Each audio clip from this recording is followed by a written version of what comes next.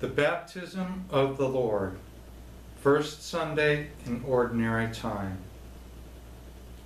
A reading from the Holy Gospel according to Luke. The people were filled with expectation, and all were asking in their hearts whether John might be the Christ.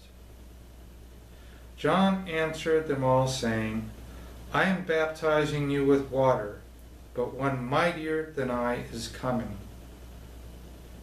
I am not worthy to loosen the thongs of his sandals.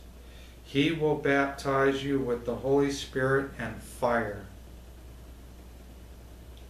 After all the people had been baptized, and Jesus also had been baptized and was praying, heaven was opened and the Holy Spirit descended upon him in bodily form like a dove.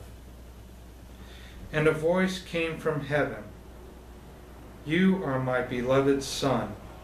With you I am well pleased. The Gospel of the Lord.